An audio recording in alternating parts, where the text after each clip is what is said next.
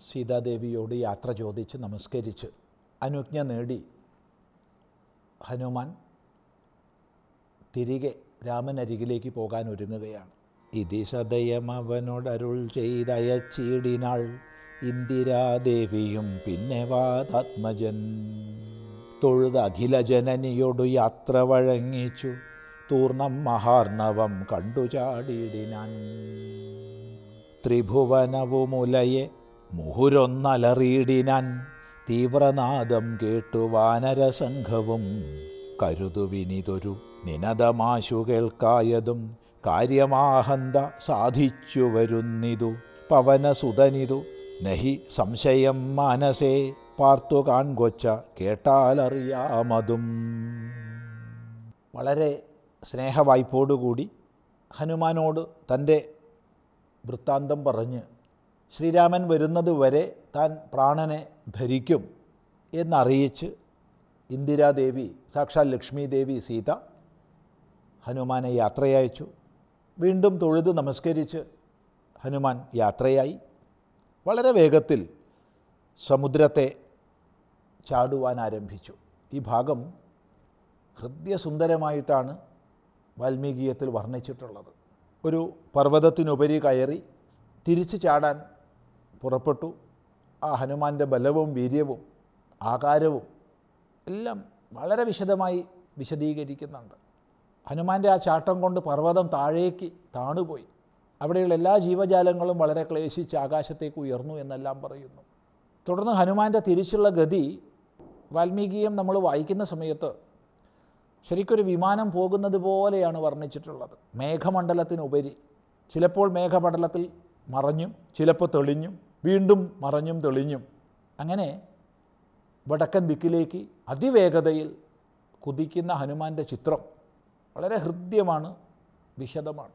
ആ ചാടുന്ന ചാട്ടത്തിൽ അത്യന്തമായ ശബ്ദത്തിൽ ഗർജിച്ചു ഹനുമാൻ മൂന്ന് ലോകങ്ങളും ഉലയുന്ന പ്രകാരം ആ തീവ്രമായ നാദം കേട്ട് വാനരസംഘം ആനന്ദിക്കുകയാണ്. ഇത്രയും വലിയ അട്ടഹാസം ചെയ്തുകൊണ്ട് ഹനുമാൻ തിരികെ വരണമെങ്കിൽ തീർച്ചയായിട്ടും കാര്യം സാധിച്ചിട്ടുണ്ട്. ഇതിൽ യാതൊരു സംശയവുമില്ല എന്ന് ആ വാനരന്മാരെല്ലാവരും അത്യന്തമായ സന്തോഷത്തോടു കൂടി തീരുമാനിക്കുകയാണ്. ആ ഒച്ച കേട്ടാൽ നമുക്കറിയാം ഹനുമാൻ കാര്യസാധ്യം നേടിയിട്ടാണ് വരുന്നതെന്ന്. ഇപ്രകാരം അവർ പറയുന്ന സമയത്ത് കപി നിവഹമിതി ബഹുവിധം പറയും വിധൗ. കാണായിതദ്രിശിരശിവാതാത്മജം ഇപ്രകാരം കപി നിവഹം വാനരന്മാരുടെ കൂട്ടം ആനന്ദത്തോടുകൂടി പറയുന്ന സമയത്ത് അങ്ങ് ദൂരെ പർവതത്തിൽ ഹനുമാന്റെ രൂപം കാണുവാൻ സാധിച്ചു. താത്പര്യം ഉദയഗിരിയിൽ സൂര്യൻ പ്രകാശിക്കും പോലെ പതുക്കെ പതുക്കെ ഹനുമാൻ പ്രത്യക്ഷനാവുകയാണ്. അങ്ങനെ അവരുടെ അരികിൽ എത്തിച്ചേർന്നു. കപിനിവഹവീരരെ കണ്ടിതു സീതയെ. കാകുസ്ഥവീരൻ അനുഗ്രഹത്താലഹം. നിശിചരവരാലയമാകിയ ലങ്കയും നിശേഷമുദ്യാനവും ദഹിപ്പിച്ചിതു. വിബുധകുല വൈരിയാകും ദശഗ്രീവനെ. വിസ്മയമാറു കണ്ടു പറഞ്ഞിതു. ജഡിതി ദശരഥസുതനൊടി കഥ ചൊല്ലുവാൻ. ജാമ്പവാദാദികളെ നടന്നിടുവിൻ. അല്ലയോ? വാനരവീരരെ സീതയെ കണ്ടു. കണ്ടിതു സീതയെ.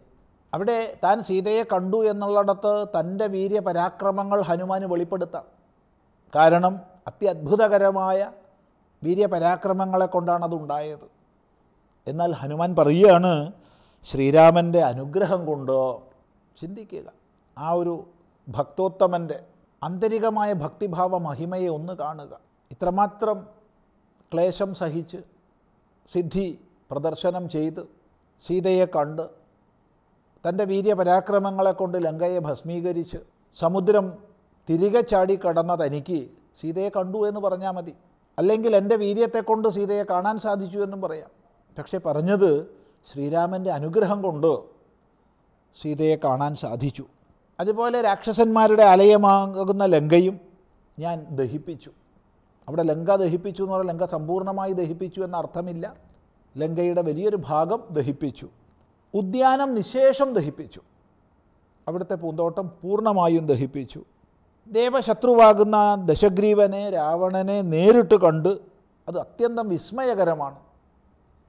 അങ്ങനെയുള്ള രാവണനെ നേരിട്ട് കണ്ട് സംസാരിച്ചു. വളരെ പെട്ടെന്ന് തന്നെ ഇതെല്ലാം പറയുവാനായിക്കൊണ്ട് അല്ലയോ? ജാമ്പവതാദികളെ ജാമ്പവാൻ തുടങ്ങിയ അല്ലെങ്കിൽ ജാമ്പവാന്റെ നേതൃത്വത്തിലുള്ള എല്ലാ വാനരന്മാരും നമുക്കെല്ലാം ഉടനെ പുറപ്പെടാം. നടന്നിടുവിൻ. അതു പൊഴുതു പവന തനയനയും അവരാദരിച്ച് അലിംഗ്യഗാഠമാ ചുംബ്യവാലാഞ്ചലം കുതുകമൊടു കപിനിജയം അനിലജനെ മുന്നിട്ടു കൂട്ടമിട്ടാർത്തു വിളിച്ചു പോയിടിനാറ് അത്യന്തമായ ആനന്ദത്തോടുകൂടി ആ വാനരന്മാരെല്ലാവരും ചേർന്ന് ഹനുമാനെ ആദരപൂർവം ആലിംഗനം ചെയ്ത് ഗാഠമായി വീണ്ടും വീണ്ടും ഹനുമാന്റെ വാൽ പിടിച്ച് ചുംബിച്ച് കൗതുകത്തോടുകൂടി ഹനുമാനെ മുൻനിർത്തി കൂട്ടമായി ആർത്ത് വെളിച്ച് മടക്കയാത്രയായി. തുടർന്ന് നമുക്ക് അടുത്ത പ്രാവശ്യം ശ്രദ്ധിക്കാം.